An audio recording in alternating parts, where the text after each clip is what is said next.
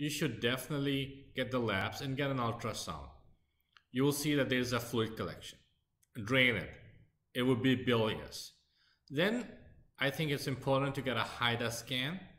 HIDA scan would show that there's trickling into the gallbladder fossa.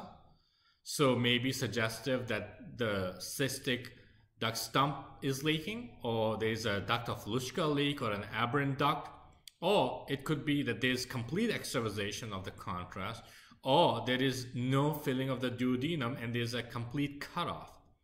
Now all these would decide and help you decide what you want to do. For example, if it's a concerning for duct of Luschka leak or a cystic duct stump leak, you can safely imagine that this patient would need an ERCP for a sphincterotomy.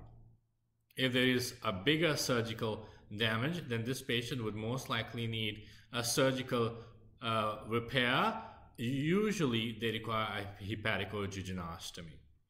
Before you take the patient to the operating room for a hepatico-jejunostomy, it's very important to get a CTAA of the abdomen because you never know while they were injuring the bile duct, they may have also injured the blood supply, namely the hepatic artery to the liver. We need the hepatic artery for a patent hepatico-jejunostomy. So it's a very important study to have preoperatively.